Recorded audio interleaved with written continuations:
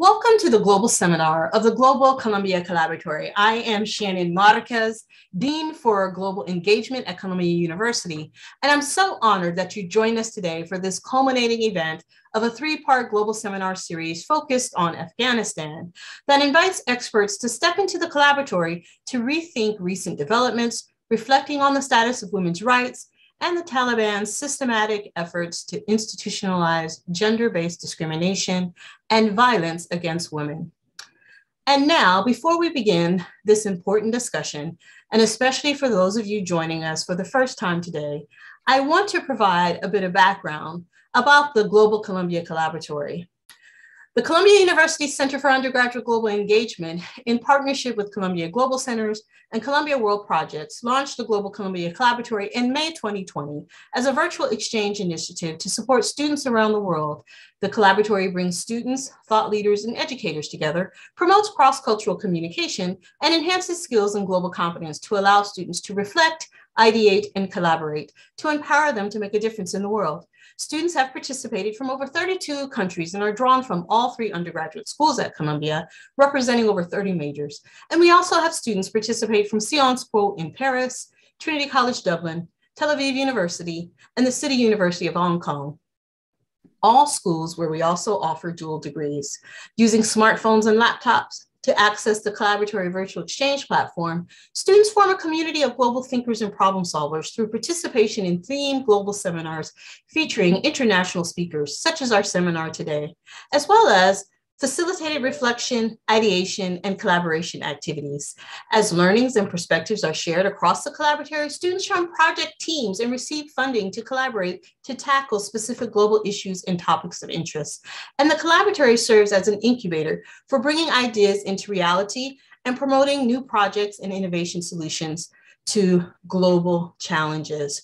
Now, we are thrilled that undergraduate students from all over the world have been actively engaged in the collaboratory every semester since it launched in 2020. And we currently have a spring cohort of 56 collaboratory students joining us live today. Welcome to all of you.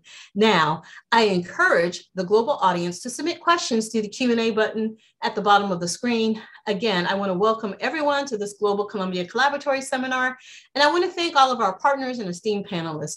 We are so pleased to be working directly with the Columbia Global Centers for these seminars.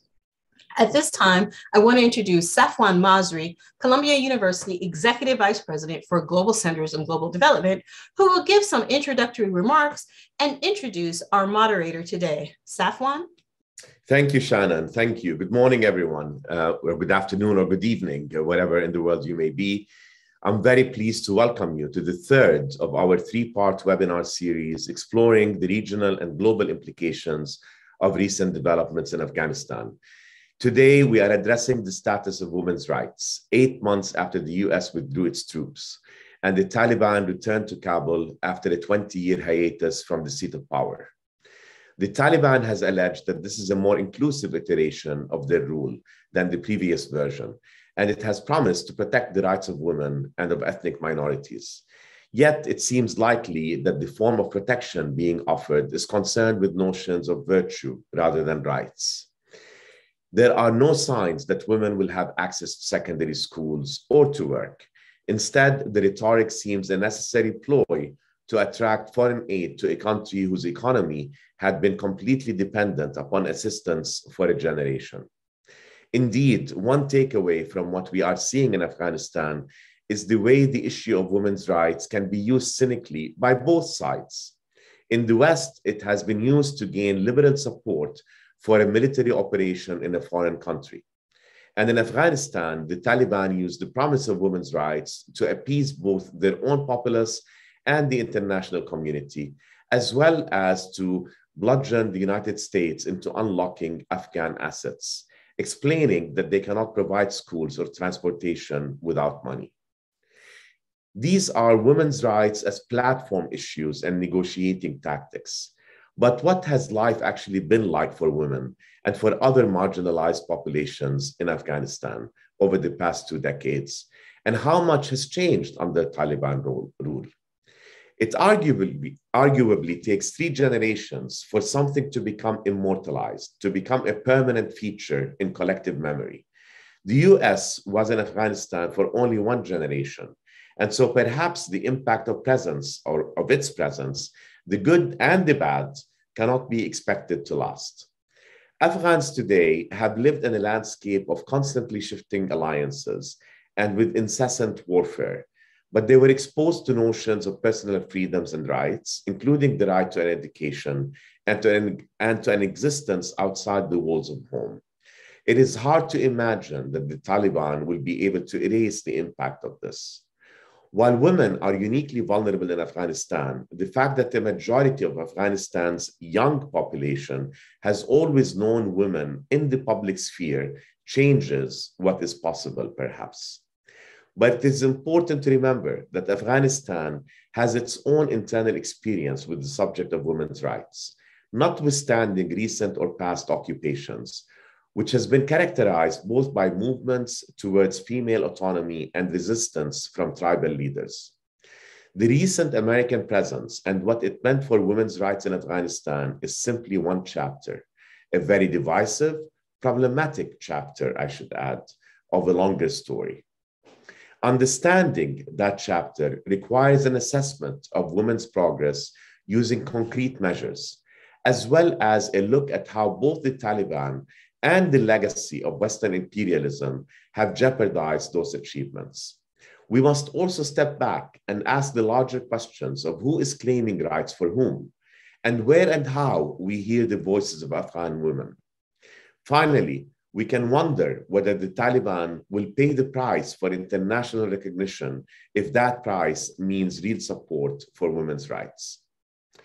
To explore these questions and more, I am very pleased now to introduce our moderator, my friend and colleague, Yasmin Ergas, who will in turn introduce our guest, Pashtana Durrani, for what promises to be a fascinating and informative conversation.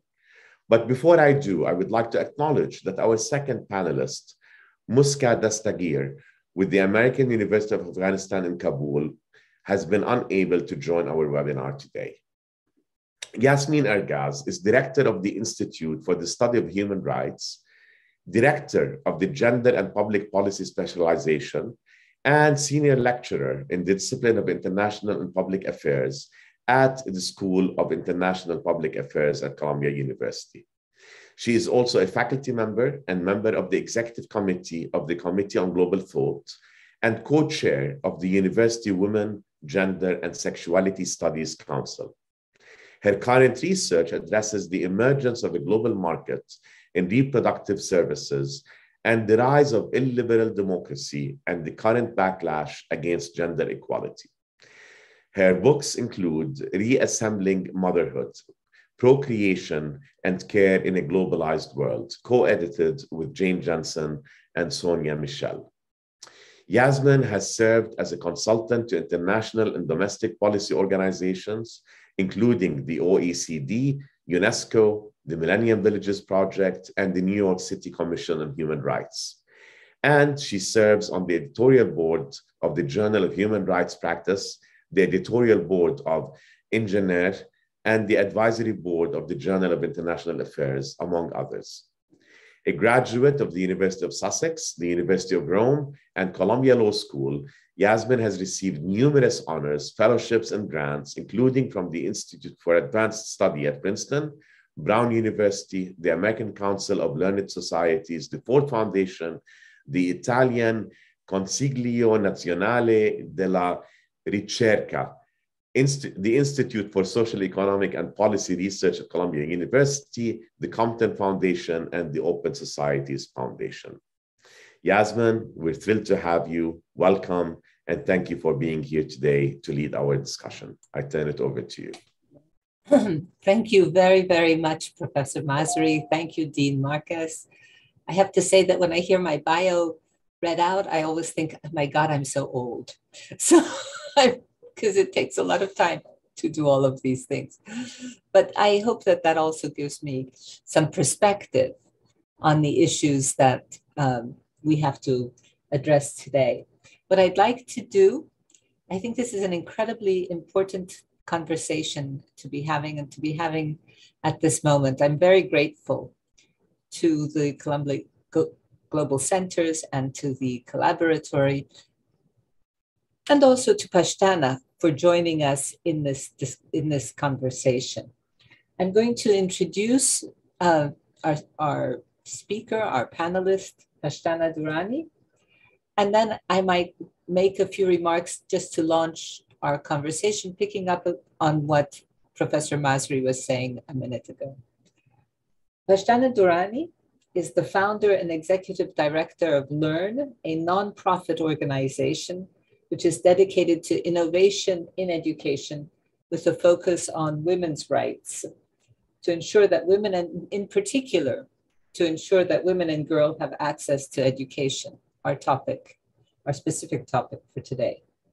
She also initiated the Digital Lab as an offline library of general science, general and science subjects designed as a peer learning digital lab that offers content for grades 1 through 12 in two national languages in Afghanistan, Dari and Pashto.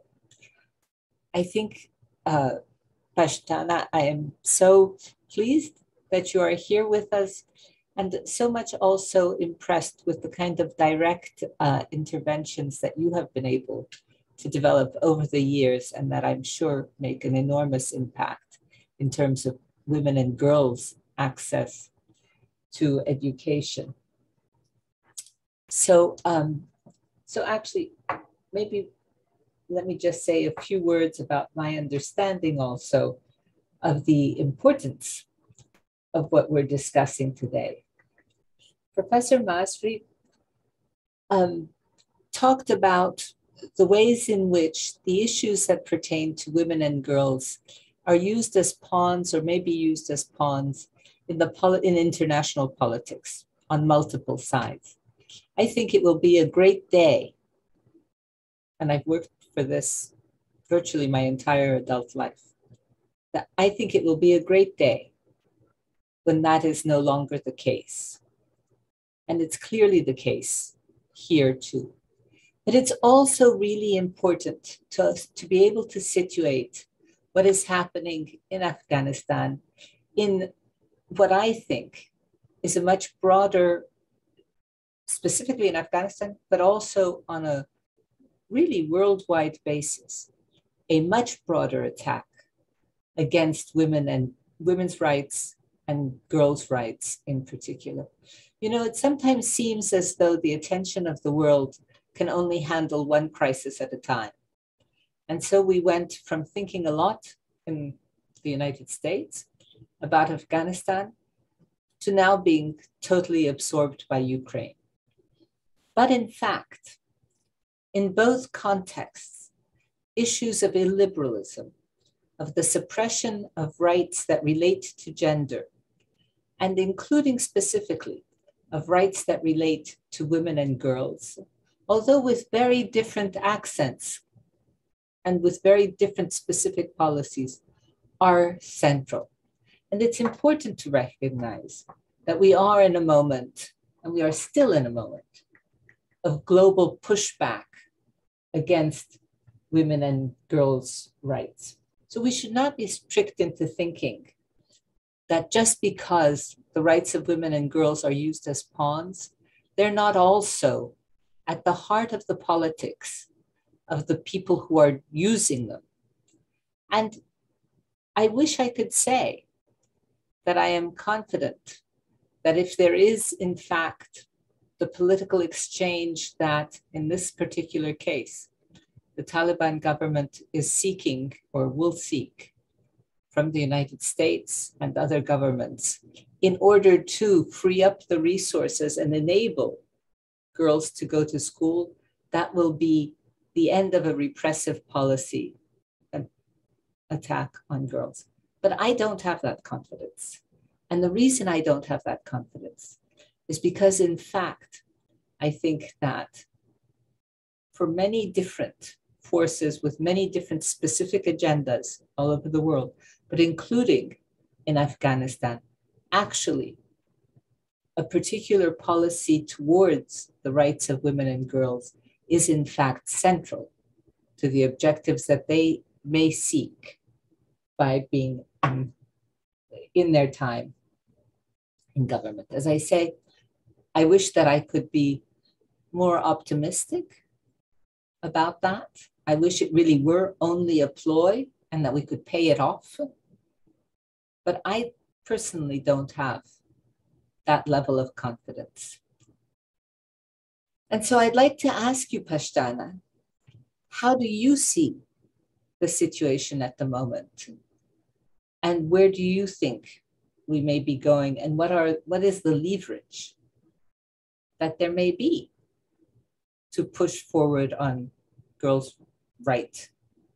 Because that's the question in front of us right now, which is girls' right to access education. Thank you. Thank you so much, Professor Yasmin. Uh, if I may, I'll call you Professor. Please. um, I was thinking about how um, Professor Masri was talking about three. It takes three generations for me uh, for it to become immortalized. I kept on thinking about how during my father's age, it was the Russians who invaded the country and he was young and he was going through his college years his masters and just like you know holding on to his roots but he had to leave. And then i always like made fun of him when i was young. I was like you know when i grow up if something like that happens i'm never leaving. And the irony is when uh, the americans left we had to leave right after them just because we didn't have any other option left.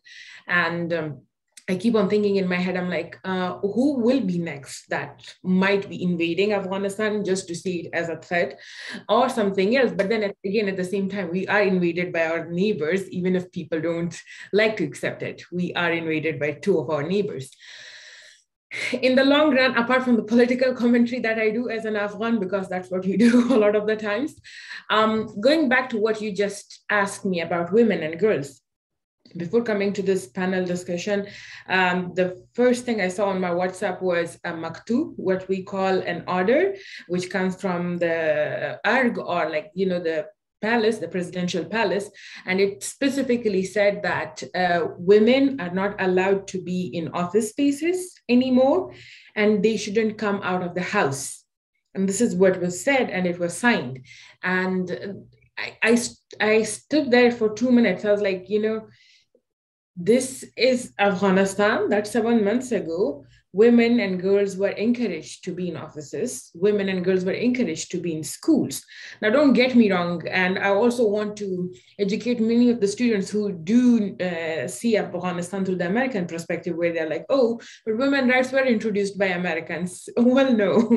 um, women rights were pretty much there in Afghanistan. Um, it has always been there when America didn't have women ministers.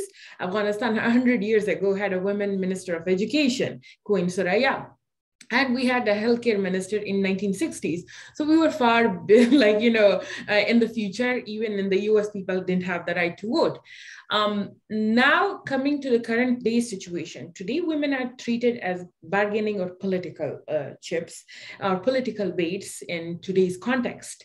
Um, as much as i like to say that yes taliban are against education what is the reason that they are so against it? The only reason is because the international community sees this as a sensitive subject and they know which buttons to push because the um, as you can see the how the transition worked from afghanistan to ukraine and then all of a sudden the minute they close the school everybody goes back to afghanistan even if not the same attention there is still more attention to it now.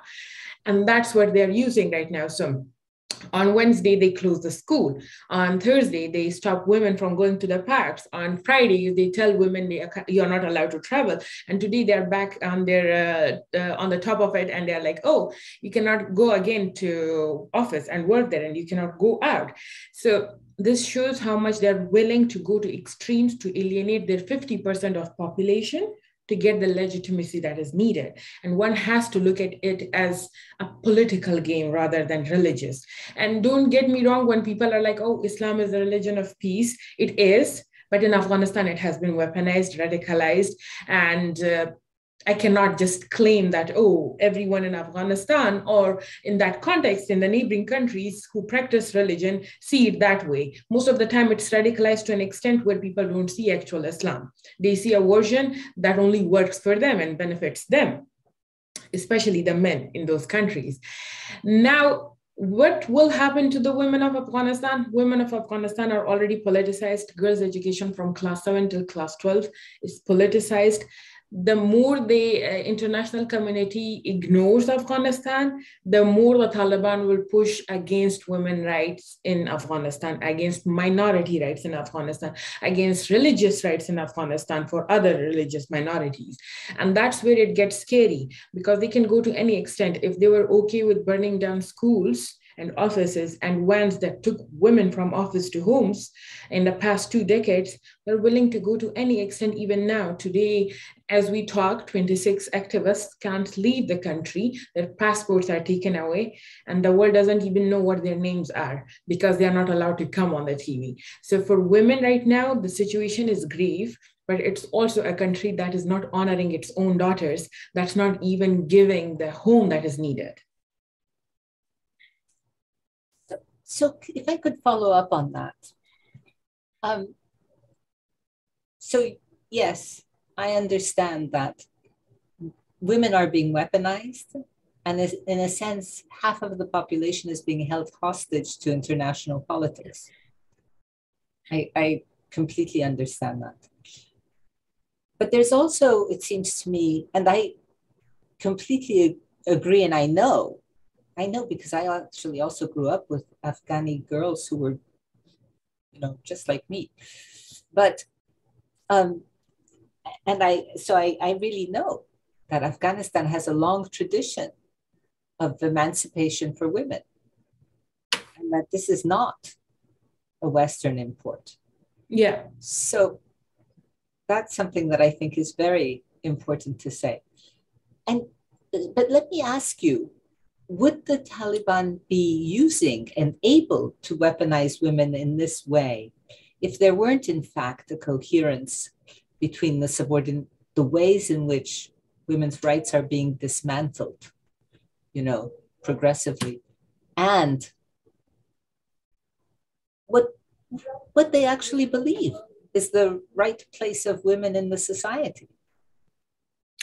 See, this is where it, it always gets uh, tricky for us to understand how Taliban actually function.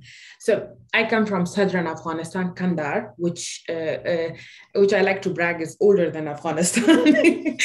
but apart from the fact that this uh, that is southern Taliban or southern Afghanistan's Taliban were um, part or trained by Al Qaeda, Osama bin Laden. Um, lived uh, in a village near the airport called the Osama bin Laden's village. Now, on the other hand, so the southern part of the Taliban, they're extremely religious, conservative, driven mostly by the religious politics, radicalized to an extent.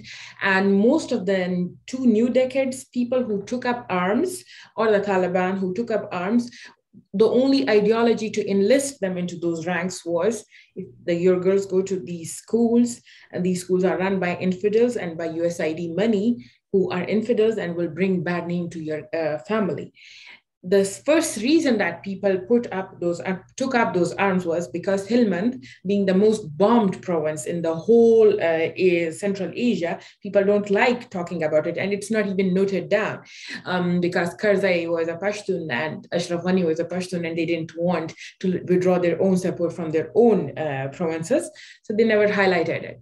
Anyways, when you bomb people's fathers, brothers, sons it's bound, people are bound to take revenge, especially in a country like Afghanistan where everything is mainly driven by ego.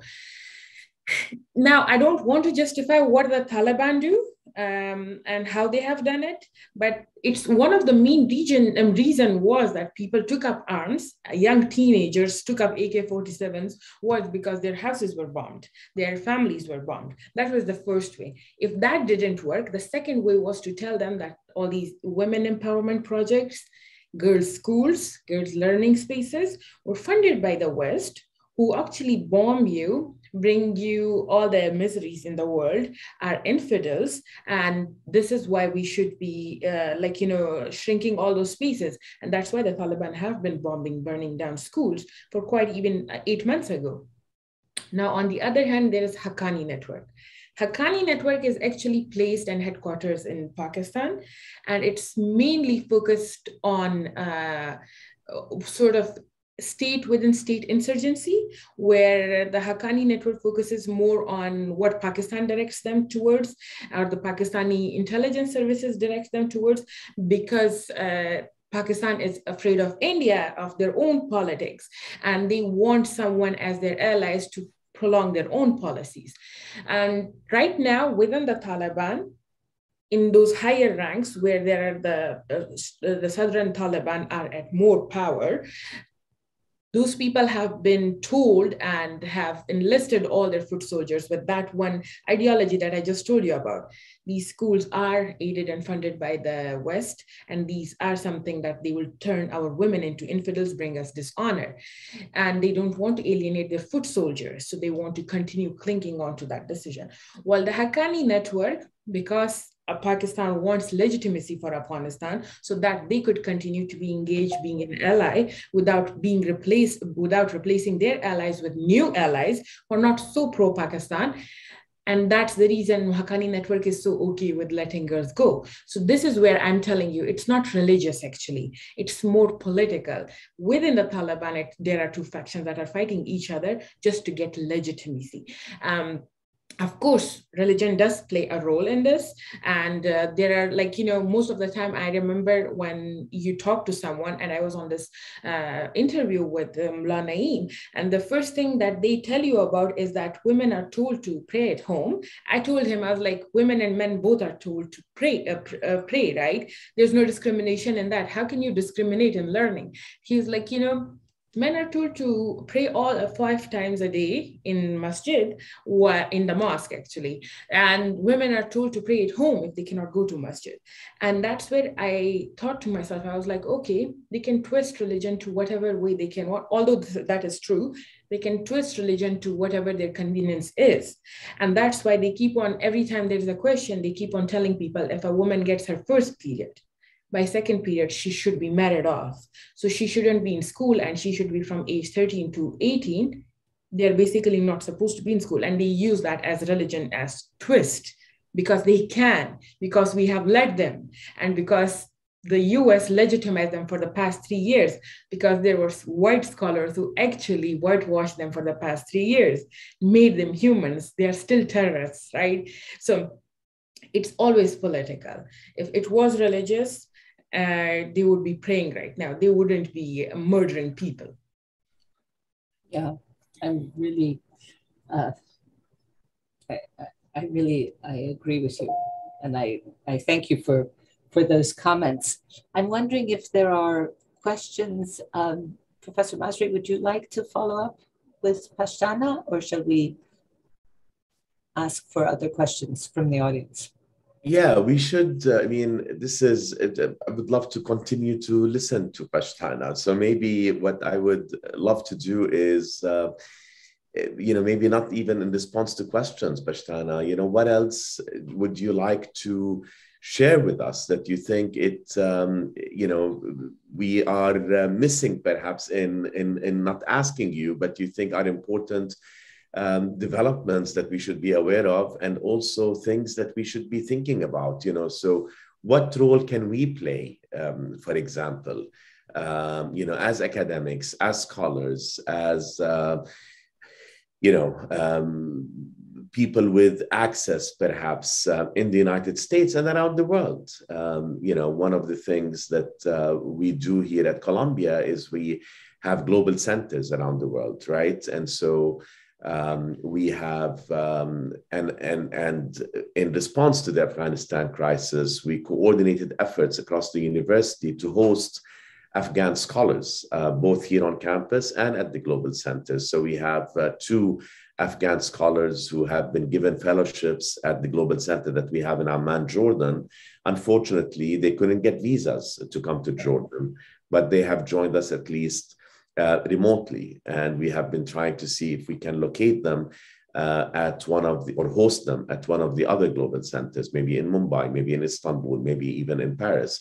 Uh, we have about five scholars that we are able to host here on campus. Um, we're doing things for students, um, and we've uh, so so. I mean, you know, it's it's it's a big question, uh, but what what can we do? I mean, you know, we're trying hard, um, and as Yasmin said, you know, everything has now in the media has shifted towards um, the Ukraine, but we continue to be focused, of course, on Afghanistan, on Yemen, on Syria, on other parts of the world that seem to be ignored by the media. Yeah.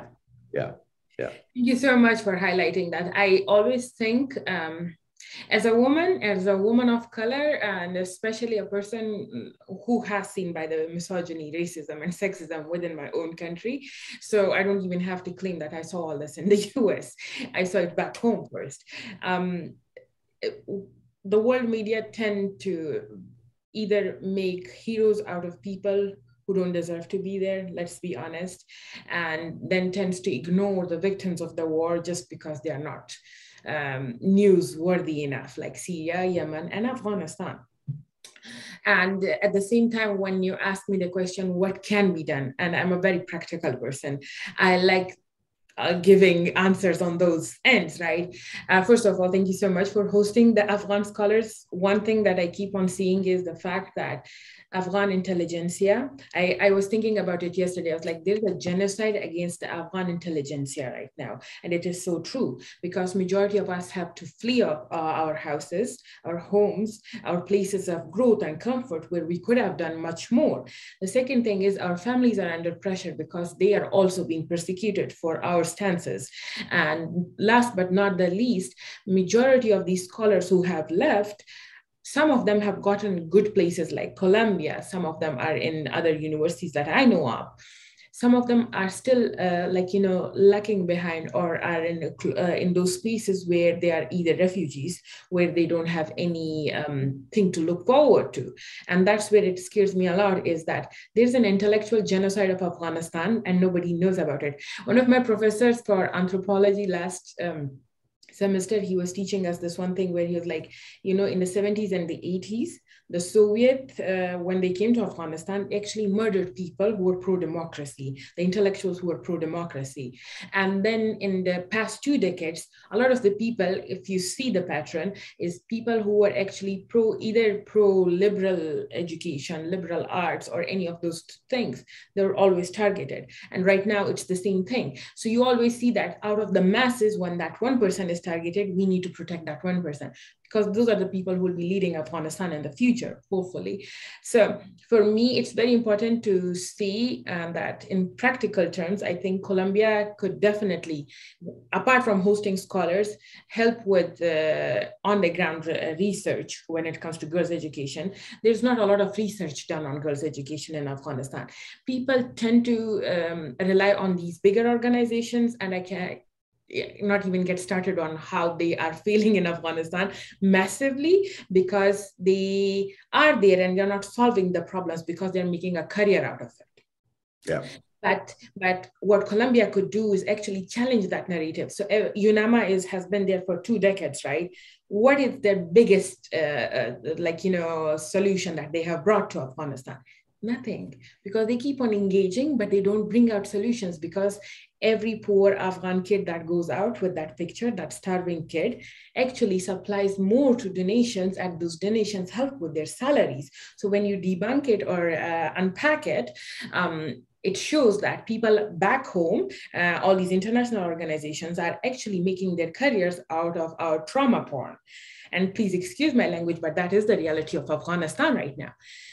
Columbia could basically focus on girls' education, alternatives to girls' education, research on girls' education, how it, the uh, gap could be filled, and those research policies should be presented at the UN.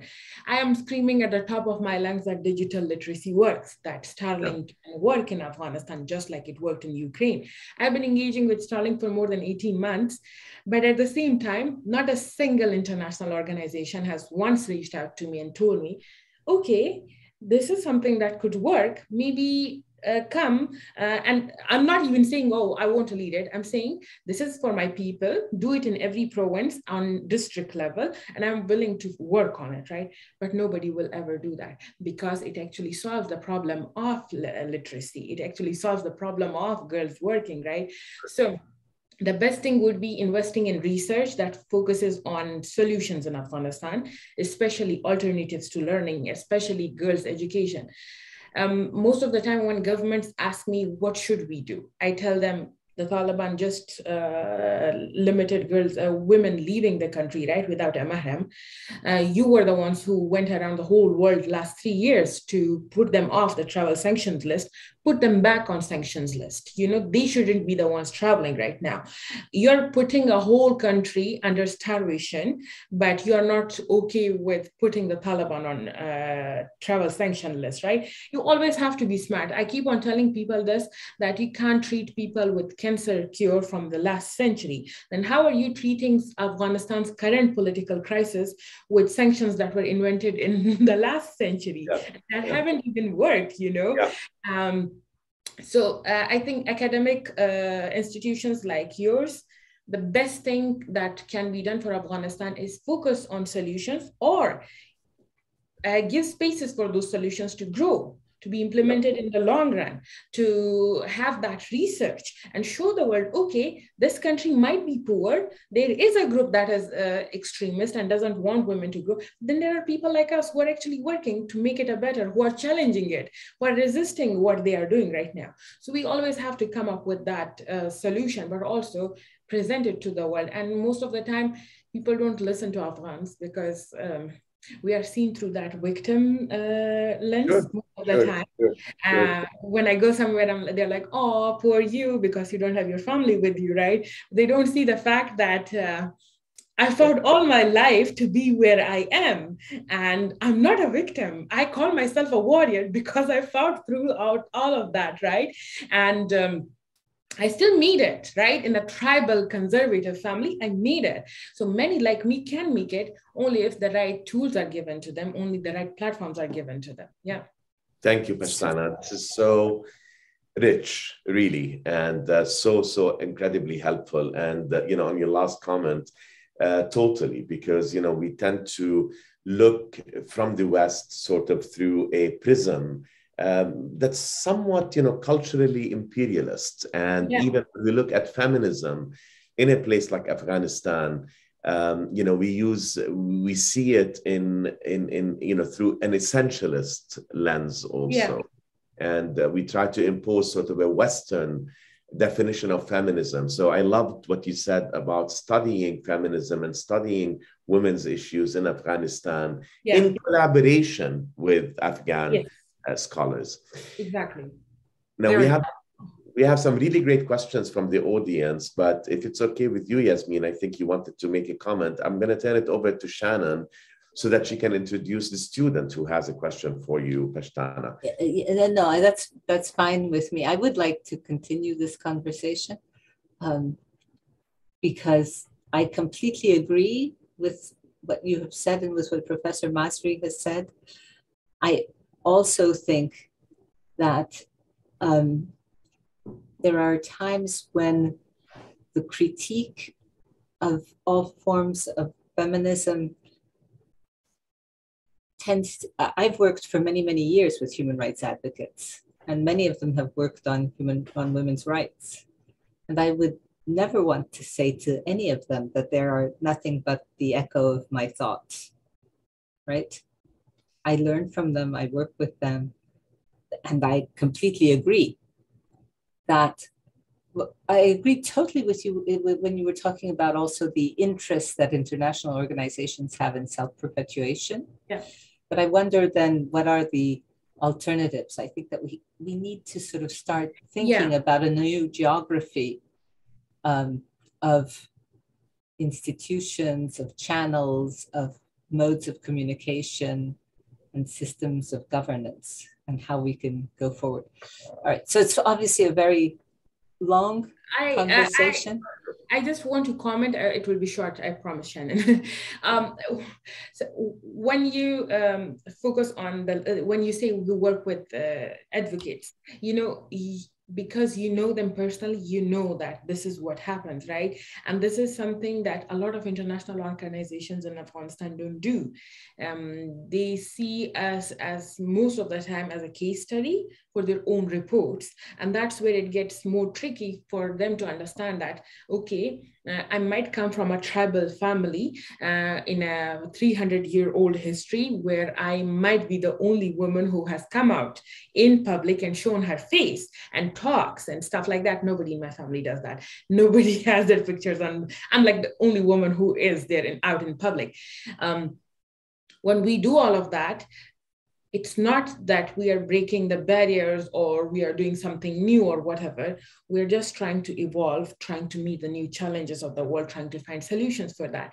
But most of the time, when we tell that to the international community in Afghanistan, they're like, oh, but the government says this. Our last government was corrupt. I kept on telling everyone, this is corrupt. You need to go back and report it. You need to ask questions. How can you let the taxpayers' money come here and not ask questions? Where is the accountability? Because people people have been robbed off in the Western countries too, right, from their money. But nobody asked those questions. Everyone was like, oh, but you know, why? Because they got a few gifts from the Afghan elites, like a few dry fruits, cute code and that they could go back and at home and tell them, oh, you know, my trip in Afghanistan, it was such a pleasant trip. And I met this woman and that woman. And then out of that bubble, they never met the real people. Right. They never met the Afghans. Afghans, I always tell people that Afghanistan starts when you come out of Kabul, when you go to all these 33 provinces, and those are the important things. And alternatives to those um, bigger organizations. I think there needs to be a model that needs to be introduced uh, where when you go into a country and when you start engaging with people you need to follow up with policies. You need to develop policies that are put in place. You do engage with them but also have practical terms. Okay you're engaging with the taliban but what is the end solution? What is that engagement? Are you going there for some pictures? Is that what you want? And so those are the sort of things that somebody has to ask. But most of the time when people get at, at those top positions I don't know what happens to them. Either they become super polite or like, you know, because it's their job at stake, people tend to become very muted and they don't mm. like highlighting or asking the tough questions. And I would want someone in that position and ask those tough questions for once. Yeah, yeah. yeah powerful words, Pashtana. Thank you so much for elaborating on that. And these points are really important for our students also to hear. And now I'd really like to introduce uh, Sydney Lozikov Carey, an undergraduate student who'll be asking a live question today. Sydney is an active participant in the Spring 22 Collaboratory and is a second year student studying Middle Eastern Studies and Biology at the International School of Tel Aviv University. Her passion is in women's rights. The goal of uh, what she wants to do when she finishes school is to become an OBGYN for displaced women in refugee camps. Sydney has volunteered with refugees on the border of Syria, as well as worked with underserved communities in Guatemala, Turkey, Israel, and Tanzania, and is currently working as an activist for survivors of female genital mutilation. She is honored to be able to ask the question today. Welcome, Sydney. Hi, um, thank you so much. Um, and I'll ask my question as fast as possible. Um, I recently listened to a podcast featuring Dr. Dean Sharzai, who in 2003 was appointed the Deputy Minister of Health in Afghanistan. He worked to implement one of the most modern, successful post conflict healthcare systems that the country had seen post conflict. Um, woman empowerment was at the center of this framework, disguising education of Afghan women as medics as healthcare for women and children. This eventually flipped the switch when Taliban men would come to the women medics for health issues and allowed for their empowerment, leading to some of these medically trained women even rising to positions in the Afghan parliament. Um, so, my question is do you think that this method, reframing education, was truly effective and could work in the future with the Taliban in power? How might this method look different for women in urban settings um, versus rural settings? Um, and that was my question. Thank you so much. Thank you so much. So I think that's one of the smartest questions that have been asked on a panel because most of the time people don't do research on Afghanistan uh, uh, with the viewers, right? Um, one thing I I think we need to understand that yes, um, the foot soldiers, they most of the time they don't understand and uh, they don't have that sort of um, mental capacity to see women in workspace talking to them other than mother, their sister, their wife, which are also dismissed most of the time because they are women in their house. They're not supposed to talk. They're not supposed to show their face, everything of that sort. And don't get me wrong, culturally we do uh, we have some sort of things that um, are supposed to be that way. My mom, she still hides her face from my three uncles because they're older than my father, right? So it's a different world, different country, and some of the things are culturally normal and accepted by women and men and everyone. Now, coming back to your topic, when it comes to the question of like if we educate women to become doctors, does that or medics or midwives uh, does that justify or like you know helps us justify education for the taliban most of the times it works i'm going to be honest with you uh, when i used to work with villages what we used to do is i used to go to uh, every village and we used to tell them that i'm going to open a school here and i'm going to sponsor it for five years now in um, and you're going to send your daughters to school and return uh, for you to send your daughters to school i'm going to send you doctors every week or every two weeks when we could afford it. Um, and uh, they will see all your women, they will uh, check your women and everything. But then in return, you have to send your daughters to school. And once uh, the, your daughters are graduated, they are enrolled in a midwifery school or whatever, and they are graduated, when they are back, um, then we stop sending doctors because you'll have doctors on your own that helped a lot. That helped a lot in returning girls in uh, to schools. And it helped and it worked better than um, the world food programs policy where they used to give girls biscuits and flour and oil so that they could come to school. Because this thing was something that people couldn't afford. Um, World uh, Health Organization itself says that 80% of Afghans have access to uh, healthcare within the two hours of driving to a place that has uh, a clinic or something of that sort. But now the funny thing is, many uh, houses, many villages don't have motor cars. They don't have cars at all to go and do the two hours driving. And especially uh, when you are poor, you are under the poverty line. Most of the time, you can't afford to take your women to a two hour drive and then back home. So that was a big cha- a cha- a change when we used to give them free healthcare checkup, free ultrasound, free um, uh, medicine. And in return, they just had to send their two daughters or one daughter to school for free. Like that was so good right now yes there are times where a few places women might be allowed to uh, girls might be allowed to get their education just because they want doctors in return it's helpful most of the time when you give them that narrative. But right now, it's again politicized. Um, you can always use that challenge. You can always give them uh, religious backgrounds. You can always give them all these. In Pashto, we call it kinat, which is like, you know, give them all those narratives that this is reality, this is how uh, religion or culture works in Afghanistan.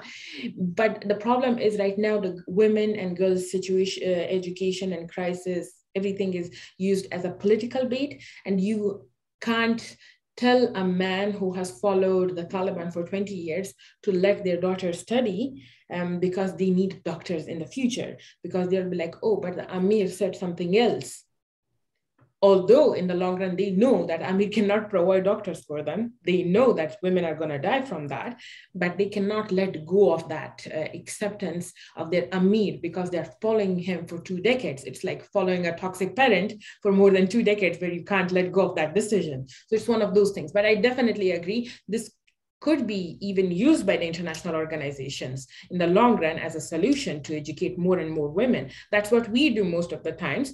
Uh, we have around seven schools right now, secret schools in Afghanistan, right now that we are telling them that if these 100 women are educated, we'll sponsor 20 of them in medical schools. And we started with our first uh, girl in Kandahar, and she's at the top of her class. So when you're nursing girls, it always helps. But it's always like, you know, you always have to see what sort of community it is, how much do they follow the Amir, stuff like that. Yeah. It's great. Thank you so much. Could I ask a follow up on that? Sure. So health is a particular kind of thing, right? Are there yeah. other are there other sectors which might be used in the same way, which might have the yeah. same so one thing, Yasmin, if we need to see is that in Afghanistan, um, mothers are loved. They're respected. I know in majority of the cultures are, but in Afghanistan, they're most particularly loved. Um, my brother, he worships my mother. the same goes for a lot of uh, people, and especially in the Taliban, they do listen to their mothers because um, uh, a Islam says a lot about the mothers and her role, but also at the same time because mother is the only place that they feel safe enough to talk, especially men. So I feel like, you know, um, most of the time when I'm engaging with uh, uh, in a village, I don't go to the men in the village. I actually go to the women elder in the village. And that women elder always helps more than the men because they have good convincing powers. I tell you that this the best way to go and work in a community is tell the older women. Like, you know, you tell her that um, I'm going to get you a well, just get me the school and she will do it so of course, it's not a particular different industry, but it's definitely something that we could look into. But these contexts are never explored or these resources are never explored because people don't understand that they, if there is a man tribal chief, there's always a woman tribal chief in Afghanistan too. So that's the perspective we miss. Go to the mothers tell them what is your biggest challenge right now in afghanistan in that village? And she'll tell you oh i don't have a well. I don't have a clinic. Um, i don't have electricity right? And you tell her i promise i'll bring you that. And in return you have to open a school in your house. You'll oversee it. Uh, we will pay for the teachers. We'll give you everything. But you uh, but this is the like you know the give and take. And it always works. Trust me it always works that's great that's great uh, it's terrific. I, I see an interesting question in the chat that perhaps could be a good follow up. And the question is uh, one, thanking you, Pashtana, for all of your thoughts and comments. Uh, this person says that their law school clinic represents asylum seekers, including many Afghan families. They have observed other organizations, including resettlement agencies, deferring to the patriarch of each family to speak and make all decisions for the family while treating their female counterparts paternalistically. They justify this as respecting Afghan culture. So the question is how can advocates and community members support fellow women and lift their voices while respecting cultural differences? I think that this, um, you, you spoke a bit about this, but I think that this question really is, is asking for more with regard to this context. I think one thing, um, and this was the question that was actually asked by an Afghan diaspora from me when they were working with Afghan refugees here. They were like, how do we communicate with the women? And uh, how do we communicate with the men? Um, most of the time, the men feel shy when they are talking to a doctor or someone in medical uh, procedure and something of that sort. So the woman is like the first one who is communicating and engaging. But even if they're the two of them are engaging, the best thing would be like, you know, giving them that safe space. It's the most important thing that could be done. Um, most of the time, we are a community, we don't talk about um, sex life we don't talk about uh, even uh, maternal health care it's uh, frowned upon right? There's no show of affection apart from the paternal and maternal uh, affection. Other things are frowned upon. So you have to see that there needs to be a, a safe space for them to open up to talk about. But also how much um, like you know uh, if uh, you're intellectually on another level how much are you willing to come on their intellectual level and communicate with them most of the time they will be very smart people but they wouldn't want to open up to you because they don't feel safe with you or they don't have that language skills to communicate with you. So it's always a different narrative and challenge, but you always have to see um, and navigate through it with more um, uh, I, I feel like you know safe but also safety uh, especially what people go through especially women in afghanistan the trauma that they go through mm-hmm. yes thank you thank you and we hope you know that one day uh, these asylum seekers and the resettled um, refugees are able to go back um, yes, to yes. thriving and vibrant uh, afghanistan because you know to rebuild the country when it's time to do that you need that talent. I mean you know unfortunately what often happens is that some of the greatest talent ends up being the uh, one that that um, that leaves and is able yeah, to resettle elsewhere. As this is this is the one of the reasons like uh, uh, when my friends were uh, evacuating me i remember them specifically they're like look we know you And we know for a fact that if you seek asylum, you would want to go back home after four months and then we wouldn't be able to help you. And they're like, see, this is how you go. And they actually, I'm going to be honest, they actually helped me. Uh, I remember Amna Nawaz, she's a PBS reporter. She actually got me a J1 as a scholar, right? Because she knew that I would want to go back. And she that was so true because I plan to go back even this summer to see my schools and everything, um, safety permitting. So this is really uh, important. Afghanistan has amazing people, and, and it's not just because it's my country. I see the intelligence, I see the artists, I see the people that I meet, and I envy the fact that we are not in our country, that we can't celebrate this art, this academics, these books, and the fact that libraries back home are burned down and here uh, we don't have that uh, capacity to build what we left back home so yeah but you will you will yeah. and you are and you are um, doing so uh, from afar um, i mean Pashtana, I can't thank you enough. And I can't thank you enough, not only for what you've done today and, and what you contributed to us and to our understanding and to our intelligence about Afghanistan, but I can't thank you enough for the great work that you do. Uh, you're an inspiration. You really are. Um, you are um, somebody to uh, look up to and learn from, uh, not only in the Afghanistan context. And I really mean that, uh, you know, from the bottom of my heart. I am in awe uh, of you and of people like you, and and um, I feel little, uh, you know, when I hear somebody like you. of all the work that we do, you know, it's a drop in the ocean, but every drop in the ocean uh, doesn't matter at the end of the day. Um, so thank you, Yasmin. Um, you're just terrific. And thank you for really uh, bringing in your perspectives um, into this discussion and for uh, moderating this wonderful, wonderful conversation. I'm going to turn it uh, to you. Uh, I mean, Yasmin, if you want to make any closing remarks, and then Shannon will uh, will conclude the event for us. I just want to say also uh, to echo really Safwan's words Pashtana, you really are an example for all of us. And I've understood so much from this conversation with you, including about the agenda or the difficulty of establishing a clear agenda that would enable us to help in some significant manner. So, um, and also not to do harm. You know, the first, the first precept for physicians is do no harm. right? And I think that's the first lesson. And then the second lesson is how do we help? Yeah. And that requires a lot of listening and recognizing that we have resources, but often we don't have knowledge and understanding. One of the greatest sociologists, Max Weber, said to under, that any social scientific knowledge depends on your ability to understand from the perspective of the actor. Yeah and I think that that's really um, we can't.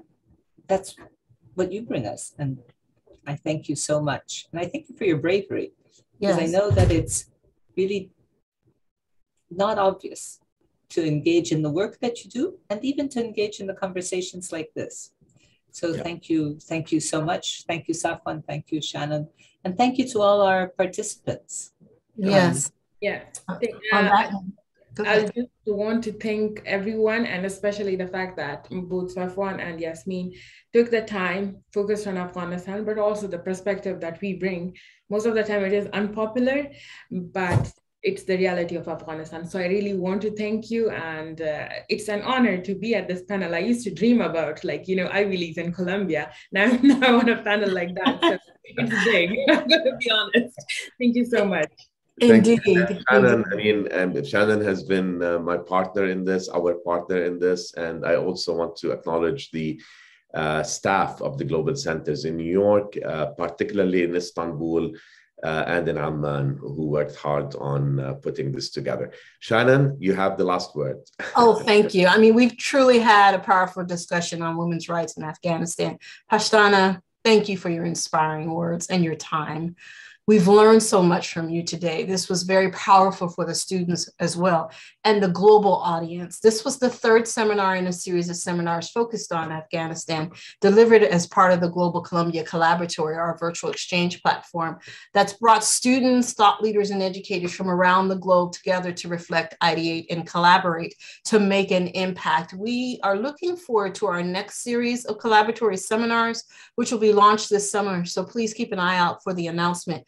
Thanks again to our esteemed moderator and panelists, Yasmin and Pashtana, who joined us today. And many thanks to the team at the Columbia Global Centers, Columbia World Projects, Columbia College, the Center for Undergraduate Global Engagement, and of course, extending a very special thank you to our collaboratory students from around the world, partners, and participants as well. A reminder that a link to the recording of the full webinar will be sent to everyone who registered, and for others, you'll be able to find it on our website.